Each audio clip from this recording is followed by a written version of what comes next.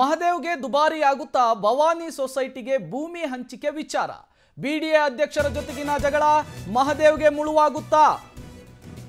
S, Bhavani housing society ವಿವಾದಕ್ಕೆ ಸಂಬಂಧಿಸಿದಂತೆ BDA ಅಧ್ಯಕ್ಷರ ಜೊತೆಗಿನ ಜಗಳ ಈಗ ಆಯುಕ್ತರಾದ ಮಹದೇವ್ಗೆ ಮುಳುವಾಗುತ್ತಾ ಅನ್ನೋ ಪ್ರಶ್ನೆ ನಿರ್ಮಾಣವಾಗಿದೆ. ಸಚಿವರು ಶಾಸಕರ ಜೊತೆಗೂ ಮಹದೇವ್ ಅಷ್ಟಕ್ಕಷ್ಟೇ. ಬಿಡಿಎ ಆಯುಕ್ತರನ್ನ ಎತ್ತಂಡಿ ಮಾಡ್ತಾರಾ CM B S Yediyurappa? BDA ಆಯುಕ್ತ ಮಹದೇವ್ ಇನ್ನೆರಡು ತಿಂಗಳಲ್ಲಿ ನಿವೃತ್ತಿಯಾಗಲಿದ್ದಾರೆ. ಮಹದೇವ್ಗೆ ದುಬಾರಿಯಾಗುತ್ತಾ ಭವಾನಿ ಸೊಸೈಟಿಗೆ ಭೂಮಿ ಹಂಚಿಕೆ ನೀಡಿರುವ ವಿಚಾರ. ಜೋಡೆತ್ತು ಸಂಬಂಧದಲ್ಲಿ ಹುಳಿ ಹಿಂಡಿದ್ದು ಯಾರು ಹಾಗಾದ್ರೆ? ಈ ಪ್ರಶ್ನೆ ಈಗ ನಿರ್ಮಾಣವಾಗಿದೆ. ಆಯುಕ್ತರ ಮೇಲೆ ಸಾಫ್ಟ್ ಕಾರ್ನರ್ ಹೊಂದಿದ್ದಾರೆ ಸಿಎಂ ಬಿ ಎಸ್ ಯಡಿಯೂರಪ್ಪ.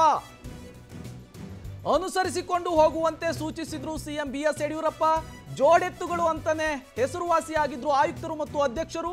ಅಧ್ಯಕ್ಷರು ಹಾಗೂ ಆಯುಕ್ತರಿಗೆ ಈಗ ಸಿಎಂ ಬಿ ಎಸ್ ಯಡಿಯೂರಪ್ಪ ಸೂಚನೆಯನ್ನ ನೀಡಿದ್ದಾರೆ. ಅಧ್ಯಕ್ಷ ವಿಶ್ವನಾಥ್ ವಿರುದ್ಧ ಮಹದೇವ್ ಪತ್ರಿಕಾ ಹೇಳಿಕೆಯನ್ನ ಈಗ ಆಕ್ಷೇಪಾರ್ಹವಾಗಿದೆ. ಇದು ಪ್ರೋಟೋಕಾಲ್ ವಿರುದ್ಧವಾಗಿದೆ ಅಂತ ಆರೋಪ ಮಾಡಲಾಗಿದೆ.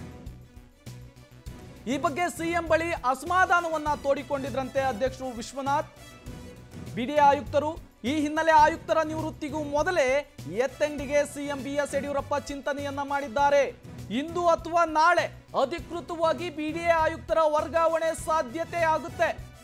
ಬಿಡಿಎ ಅಧ್ಯಕ್ಷ ಆಯುಕ್ತರ ಟಾಕ್ ವಾರ್ಗೆ ಫುಲ್ ಸ್ಟಾಪ್ ನೀಡಲು ಈಗ ಸಿಎಂ ಬಿ ಎಸ್ ಯಡಿಯೂರಪ್ಪ ನಿರ್ಧಾರ ಮಾಡಿದ್ದಾರೆ.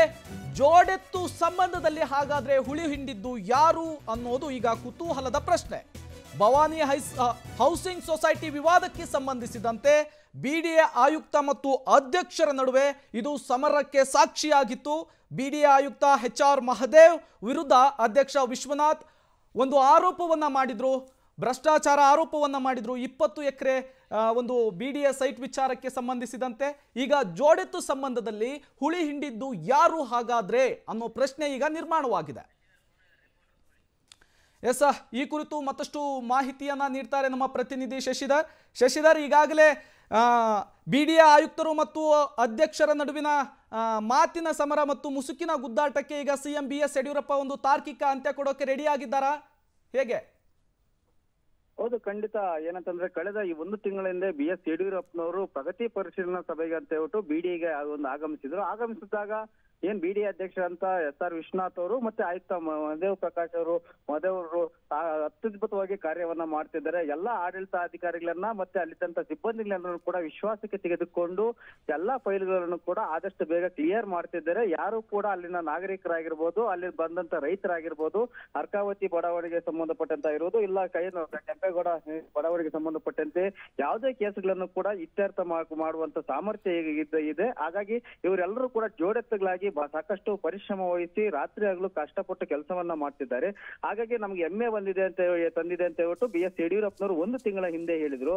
ಆದ್ರೆ ಇದ್ದಕ್ಕಿದ್ದಂತೆ ಕೆಲವೊಂದು ಎರಡು ಮೂರು ದಿನಗಳಿಂದ ಆಯುಕ್ತರು ಮತ್ತೆ ಅಧ್ಯಕ್ಷರ ನಡುವೆ ಸಾಕಷ್ಟು ಟಾಕ್ ವಾರ್ ಶುರುವಾಗಿದೆ. ಏನಂತಂದ್ರೆ ಎಲ್ಲ ಒಂದ್ ಕಡೆ ಒಂದು ಬಡಾವಣೆ ನಿವೇಶನ ವಿಚಾರದಲ್ಲಾಗಿರ್ಬೋದು, ಇಲ್ಲ ಬೇರೆ ಅಧಿಕಾರಿಗಳ ವರ್ಗಾವಣೆ ವಿಚಾರದಲ್ಲಾಗಿರ್ಬೋದು, ಇಲ್ಲ ಆಸ್ತಿಗಳ ಹಂಚಿಕೆ ವಿಚಾರದಲ್ಲಿ ಎಲ್ಲ ಕಡೆ ಅಧಿಕ ಏನು ಏನು ಅಧ್ಯಕ್ಷರ ಗಮನಕ್ಕೆ ತಾರದೆ ಕೆಲವೊಂದಷ್ಟು ಕೆಲಸ ಕಾರ್ಯಗಳನ್ನ ಆಯುಕ್ತರೇ ಏಕ ನಿರ್ಣಯವಾಗಿ ಏನು ತೀರ್ಮಾನವನ್ನ ತೆಗೆದುಕೊಳ್ತಿದ್ದಾರೆ ಅಂತ ಹೇಳ್ಬಿಟ್ಟು ಆರೋಪವನ್ನು ಕೂಡ ಏನ್ ಅಧ್ಯಕ್ಷರು ಮಾಡಿದ್ರು. ಅಧ್ಯಕ್ಷರ ಆರೋಪಕ್ಕೆ ಇದಕ್ಕೂ ಯಾವುದೇ ರೀತಿಯಾಗಿ ಸಾಕ್ಷಿ ಇಲ್ಲ. ನಾನು ಕೋರ್ಟ್ ತೀರ್ಪಿನ ಪ್ರಕಾರ ನಾವು ಎಲ್ಲಾ ಅನ್ನು ಕೂಡ ಕ್ಲಿಯರ್ ಮಾಡಿದ್ದೇವೆ. ಆಸ್ತಿಯನ್ನು ಕೂಡ ಕೊಟ್ಟಿದ್ದೇವೆ ಅಂತ ಹೇಳ್ಬಿಟ್ಟು ಆಯುಕ್ತರು ಕೂಡ ಸ್ಪಷ್ಟೀಕರಣ ಕೂಡ ಕೊಟ್ಟಿದ್ರು.